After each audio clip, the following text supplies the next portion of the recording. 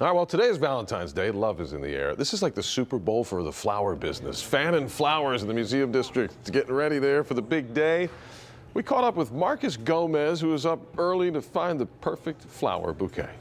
The bears, the candies, everything tends to be good quality and a good price. So, um, you got what you wanted. Yeah, yeah, I did, I did. And I got three daughters and I got a wife, so I got to make sure I get everybody something.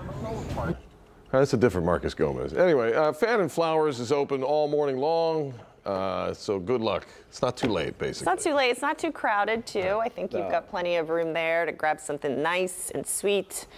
Um, is it the thought flowers, that counts, or do you have to get it? maybe it one exactly flower? Right? Yeah, you don't have to. Yeah, the Definitely thought that counts. I'm telling you, things are just so expensive these days. What is it like? An average of two hundred dollars? That's right. That yeah, folks are going to spend mm -hmm. today. Mm -hmm. There's just different ways to express your love. Yeah.